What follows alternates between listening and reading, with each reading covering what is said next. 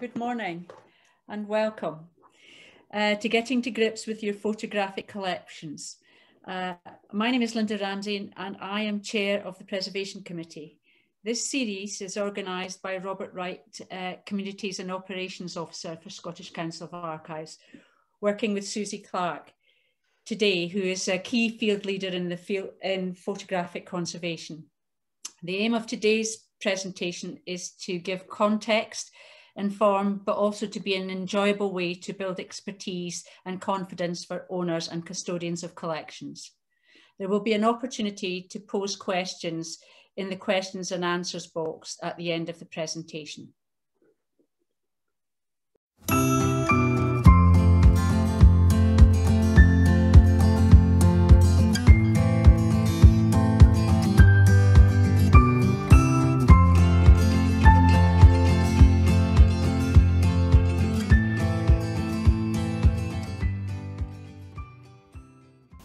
Hello everyone, I'm Susie Clark, photographic conservator and consultant, and I'm accredited by the Institute of Conservation. Welcome to this series on how to get to grips with your photographic collection. For this series, I've assumed that perhaps you don't know too much about photographic processes. I've also assumed that perhaps you have one or two uh, collections, but that maybe you don't know quite where to start with assessing what you have. My aim is to break that down so it seems a bit more manageable for you and I also want to fire up your enthusiasm for photographs. Too often people miss the significance of what they have in their photographic collections. So photographs often have many interesting and wonderful qualities and you just have to learn how to appreciate them and to really look at them. Today I'm going to tell you a bit about how to begin identifying your photographs. Why does that matter? Well, many reasons. So much information is associated with the choice of a type of photograph and it puts the photograph into context. So I like to see it as a dialogue and it isn't just the subject matter of the image which should be speaking to you. For example, the choice of process may tell you something about the social standing of a sitter, their interests or personality, uh, what traits or aspects of an image that they wish to emphasize. And it can also tell you quite a bit about the photographer, whether an art photographer, a documentary photographer, photojournalist, a scientist, a company photographer, or a local town photographer, for example. Equally, knowledge of those things may tell you something about what the process is likely to be. So I like to see it as a conversation. It's a sort of two-way stream.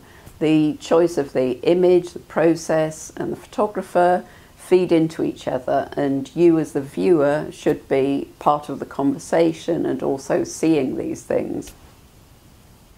So there are different ways of looking at photographs and dividing them into different groups or organising them. But the first thing is to define what a photograph actually is.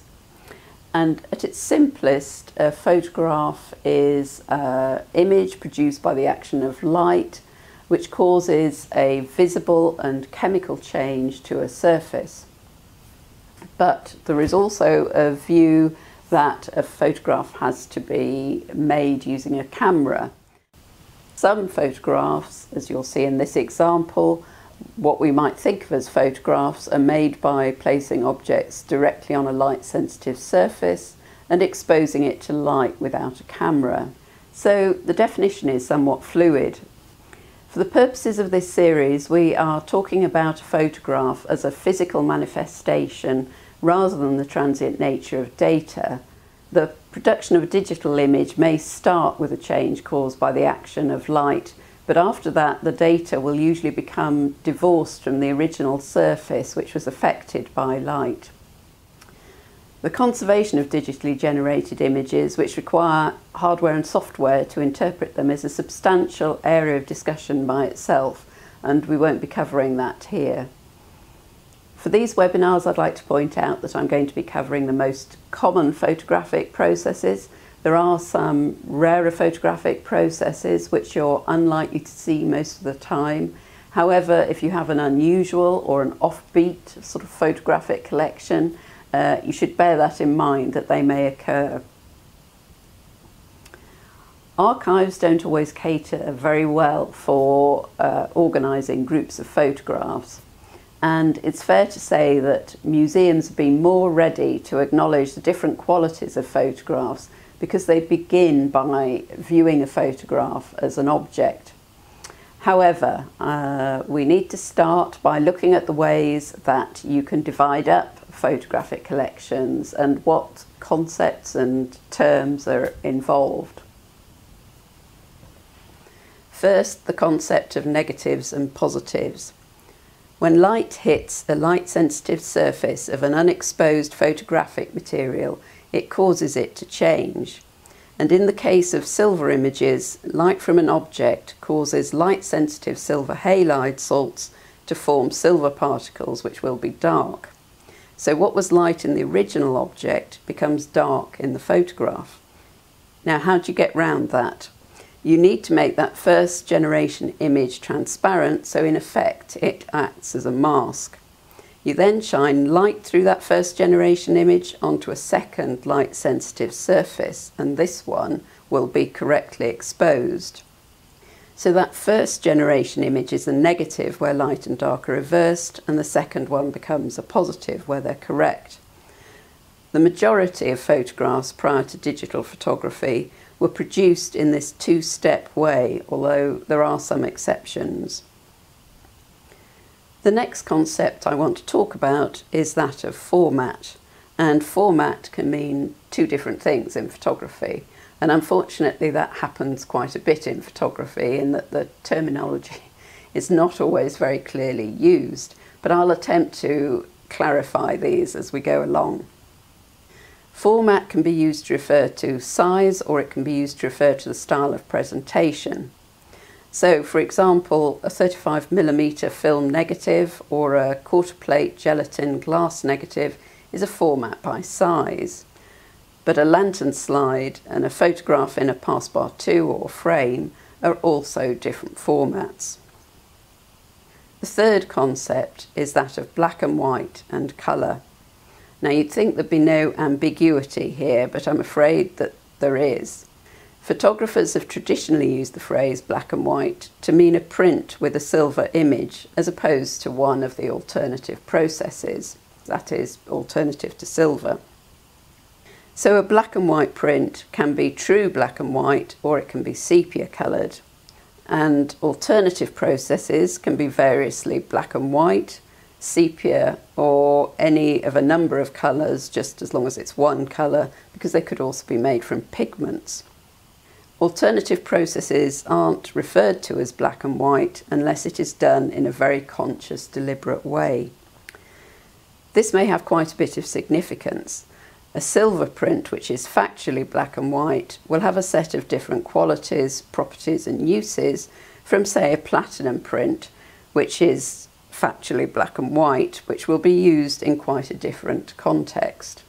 And you can see here that you've got uh, black and white photographs and sepia under the silver processes, and you've also got black and white and sepia under the alternative processes.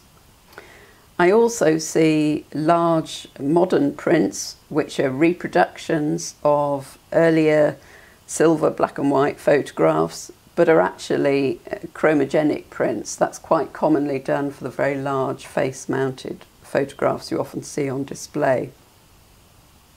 The fourth concept I want to talk about is that of originals. What is an original? Obviously, in most cases, the negative is the earliest version of an image. But as it wasn't intended to be the final result, a print may often be considered an original. However, there might be several prints from a negative, possibly at different times and now in varying condition. Some may have been cropped, retouched, either for blemishes or artistic effect. And some photographers work with photographic and photomechanical processes. So these issues can have an impact on acquisition, appraisal and cataloguing. And I would point out that if you acquire the contents of a photographic studio, logbooks can be very helpful and provide a lot of information. Now let's look at this example because it illustrates very well some of the points I've just made. Because on the left you have the original glass plate negative which dates from about the time of the First World War. On the right you have the enclosure that it was in. And then you have uh, the box that it came in which has two sequences of negatives, both glass and film. There's an index card for both, but that shows that the collection is not complete because some of the images are missing. And then this is the print which was produced at about the time of the negative. So this is a, a silver print and um, it's in an album obviously. And then if you look here, you've got a cyanotype, which is a contemporary print produced recently from that original negative. But if you look at that original print alongside the more modern print made from the same negative, you can see there are differences. The one on the left was cropped and also, if you look sort of in the bottom right corner of both images, you'll see that there's detail in the one on the left, whereas that detail isn't there in the one on the right. As you start to look at it closer, you can see there's some bleached spots in the area of the cat on the one on the left, and they're not there in the one on the right because those are in the print, they're not in the negative, so they haven't printed out in the image on the right. So when you start to look, you can see there's quite a few differences. Well, the cat is obviously a stand-in for other photographs. And if you imagine this was a photograph of quite a large group of people sort of spread about through the image area, then the differences might be quite significant and the amount of information that the images relayed uh, could be quite different too. So I think you can see that there are quite a few issues as to what is the original version. And here we've got the print that was produced at the time in the album with images depicting different kinds of subject matters as preparations for the First World War. So that's another issue. The discussion about what is the original has also resurfaced in recent years with regard to the fading of early colour chromogenic prints and reprinting, particularly in museums. Artists and photographers can have quite different views about whether the original should be replaced by a new original, whether it should be as close a copy as possible of what they think the old version originally looked like.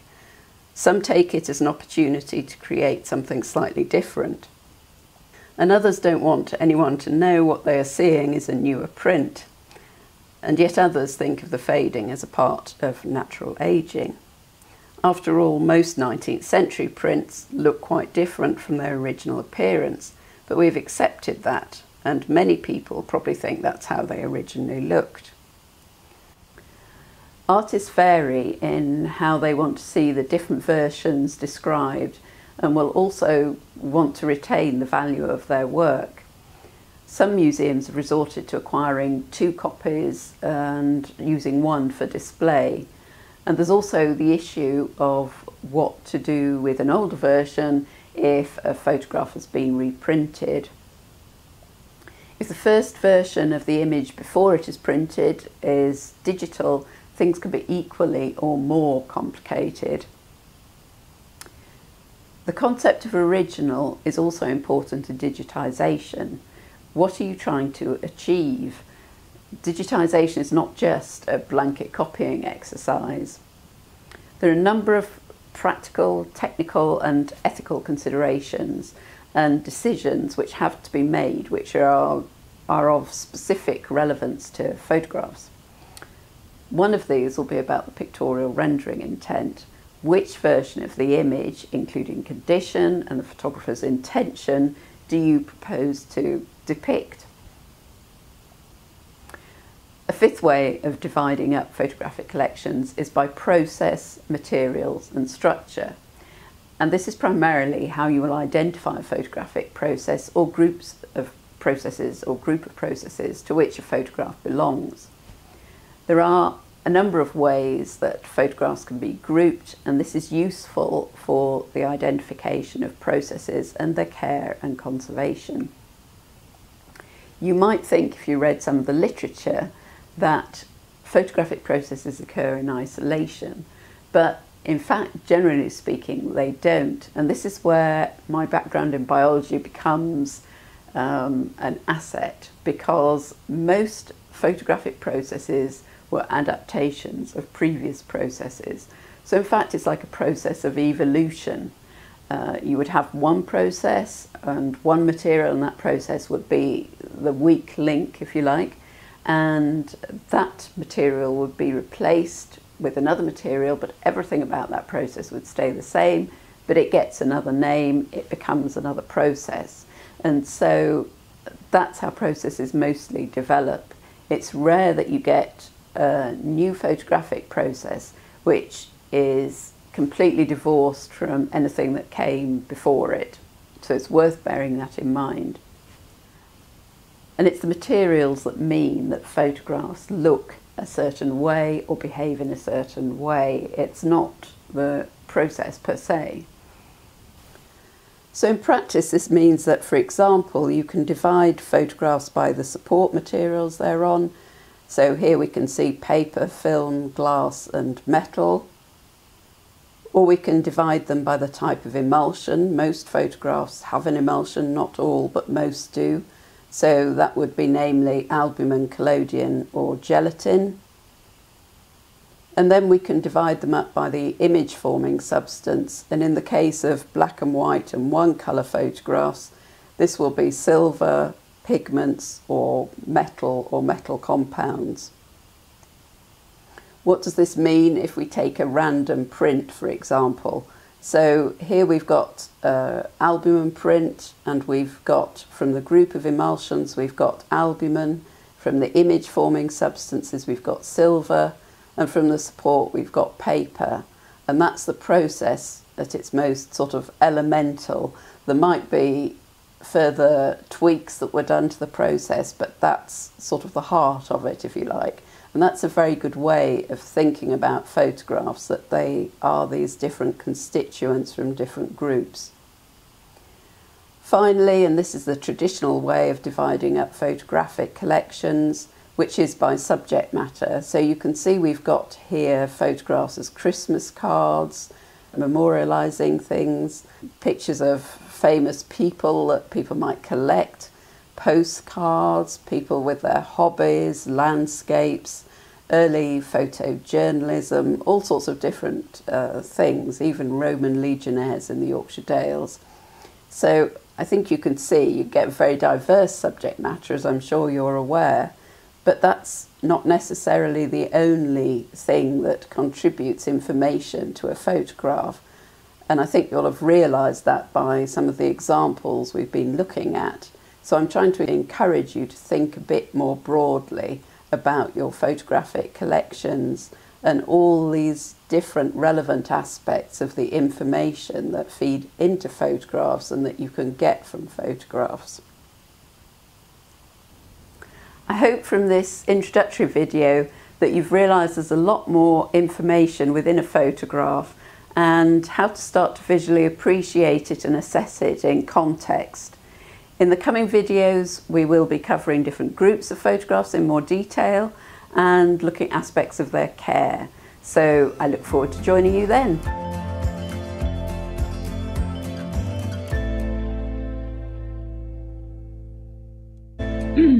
Thank you, Susie. I'd just like to invite people to put any questions that they may have into the question and answer box. I should have introduced Susie before. I think technically I got uh, confused with what I was doing. Um, I do have one question so far.